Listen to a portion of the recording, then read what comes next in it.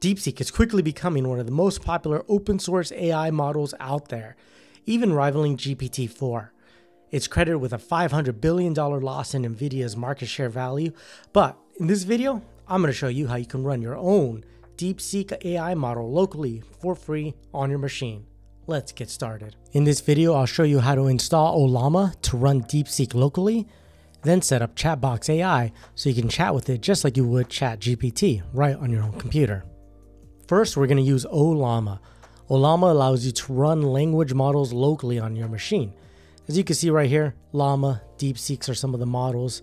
You come to the model section, uh, DeepSeek R1, 2.6 million pools, and several other language models that we'll be using.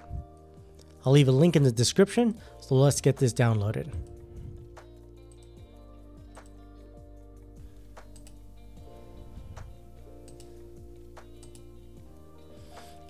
Once you start the installation, you'll get this pop-up. We'll hit next, install, put in my password. Once you get to the end, it will tell you to run your first model. It's prompting us to use Llama Run Llama 3.2, but in this video, we're going to be running DeepSeek R1. So let's get that link. All right, now we're back on Ollama's page. Uh, let's go back to the models and we can see DeepSeek. And here's the Ollama Run DeepSeek R1. But before we do that, we want to look at these tags, right? And there's a bunch of different tags. There's a bunch of different sizes. Uh, the default one is the 7B. 7B is 4.7 gigabytes. And uh, as you can look, as you open up the drop down, there's different options. Uh, the 1.5B, the 7, all the way up to the 671B 404 gigabytes that would not run on my machine. So just to start this off, to demo it out, I'm going to do this 1.5. And you can see that this command here is now updated. So I'm going to copy this, open up a terminal, and paste it in there. All right, so I have a terminal open. I'm going to start off with ollama flag V and it's going to give me a version. And I'm doing this just to confirm that Ollama installed successfully. So now I'm going to go ahead and paste in that Ollama Run DeepSeek R1 1.5B, the 1.1 gigabyte version. Hit enter, and we can watch it do the pull.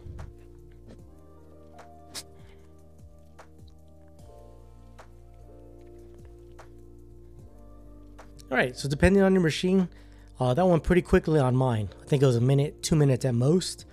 And now you can see that it gives us the command to enter a message. So let's say hello. see what we get back. All right, so this is great. We now have this DeepSeek running on our machine, but let's see if we could get a better UI for this.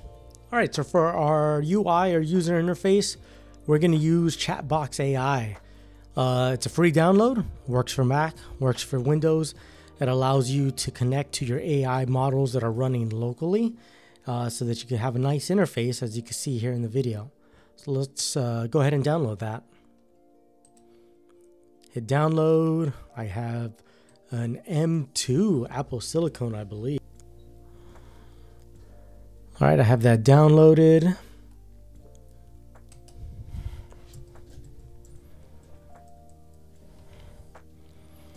And now let's open up Chatbox. All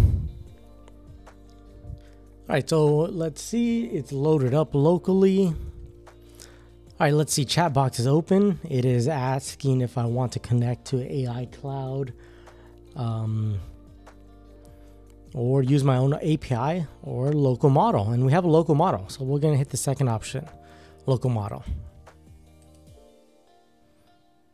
It's giving us the configuration. So we're using Ollama API. And the host is our local host, and that is port 11434. And it can see what I have installed. So I have the uh, DeepSeek R1 latest, which is the 7, and then the R1 1.5B, which we installed for this demo. Uh, we'll do the 1.5B and we'll hit next. We'll hit save. All right, so I opened up Chatbox. I expanded the screen. Uh, have a new chat started. You can see down here it's connected to the DeepSeek R1. I, I can actually switch it to the 7 that I have open, but I'm going to leave it with the 1.5B. And I'm just going to say hello. Tell me about yourself. And it's working. So you can actually see it's actually it's starting with its thought process. So it's to configure its thought process. And then it's to build its response. So this is great. I'm running all of this locally. Uh, I don't have to worry about my data being get. Uh, I don't have to worry about data being sent out. All right. So to recap, we've downloaded Ollama. We use that to download and run a DeepSeek R1 model, and then we downloaded Chatbox AI, and we use that to connect to that running model on our local machine. So both of these are running locally. The Chatbox AI the Ollama running the DeepSeek R1 1.5B, the smallest version. I'm probably going to try a couple more higher versions, to see what I can run on my Mac. Uh, I have an M3 uh, Mac Air with, I believe, 16 gigs of RAM. So I'm going to see what the best model is I can get out of this without overloading the device. But if you found this helpful, uh, if you enjoyed this video, give me a like, give me a subscribe. Follow along for more uh, videos that will come out. Also, if you have any questions, run into any issues or errors, uh, leave me a comment and I will get back to you. Maybe make a follow along video to help you out. All right, till next time.